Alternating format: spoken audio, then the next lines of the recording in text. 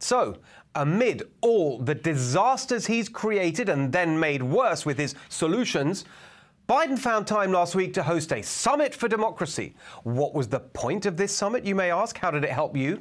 Well, here's the answer. The threat we face and the solutions we seek have a common antecedent. This is not a struggle of anyone facing it alone, it's all of us.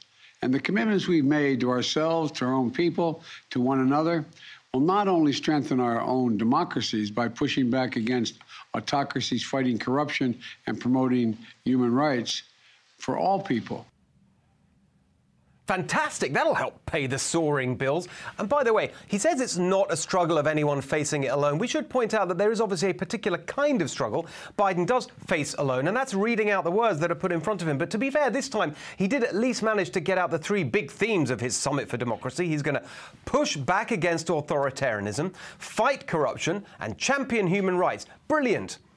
Of course, it's vital to push back against authoritarianism, and Biden might want to start by pushing back against his nasty little weasel of an Attorney General, Merrick Garland, who's sending in the FBI to intimidate political opponents, to get parents, sorry, domestic terrorists, to shut up and put up with the ideological indoctrination of their kids at school. You know, the kind of thing that goes on in authoritarian regimes like China.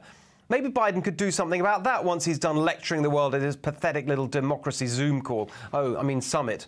In fact, while he's at it, maybe he could tell Merrick Garland to stop weaponizing the justice system to rig elections in the ruling party's favor, like they do in what was the word again? Oh, autocracies. Come to think of it, perhaps the best thing Biden could do if he wants to push back against authoritarianism is just fire Merrick Garland, who was sold to us as a mild mannered moderate, but who's turning out to be an absolutely rabid, hyper partisan authoritarian.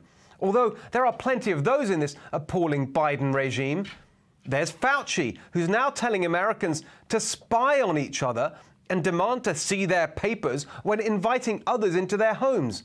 Has he been watching movies about the Stasi and East Germany under communism? There's Ron Klain, who thinks it's fine to work around the Constitution to impose totally unjustified anti science vaccine mandates. Perhaps now that every single court where the Biden mandates have come up has thrown them out, Ron Klain will find a way to work around the courts. Authoritarian dictatorships seem to be good at that kind of thing. Just like they're good at centralizing power, and boy, is this Biden regime excited about doing that.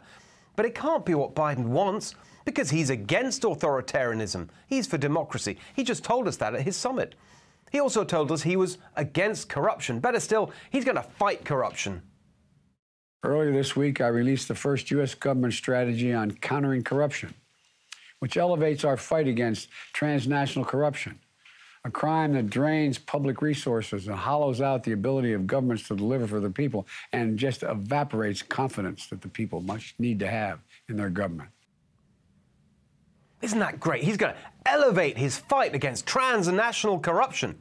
I wonder if that will include pushing for an investigation into the son of a former vice president who corruptly sold access to his father to the foreign governments involved in the exact transnational policy areas that his father, the vice president, was responsible for. You know, in countries like Ukraine or China, or perhaps the brother of a former vice president who got contracts from the military for construction projects, even though he knew nothing about construction or the other brother of a former vice president who got contracts for energy projects in the Caribbean by selling his access to the vice president. I'm sure Biden will be on to all of that. After all, he knows so much about it. All that experience, you see, 50 years of it.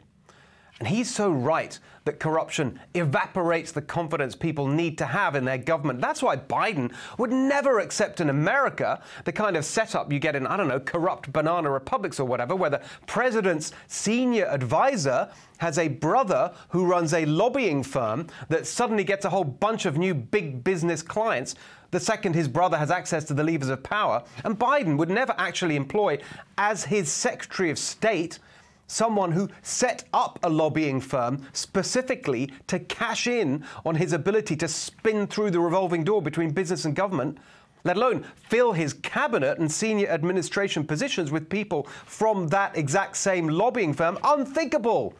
That's the kind of thing you get in corrupt regimes, not the Biden regime, right?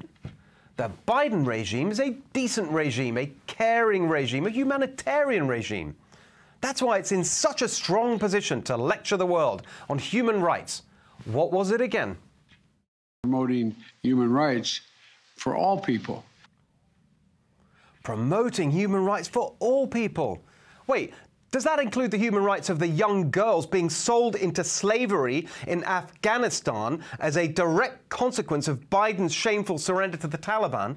The human rights of the rest of the Afghan population thrown into poverty? The human rights of the kids killed by Biden's wag the dog drone strike, cynically launched to try and distract from his disastrous withdrawal? I guess not.